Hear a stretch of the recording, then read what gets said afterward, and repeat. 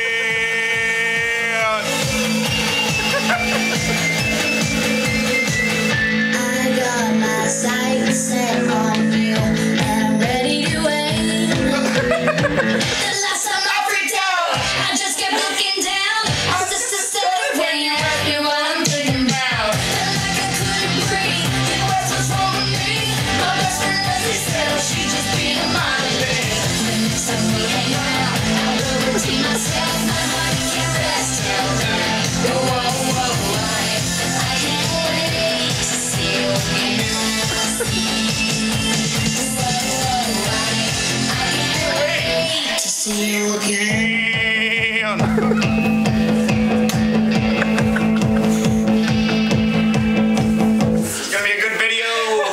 Can't wait to watch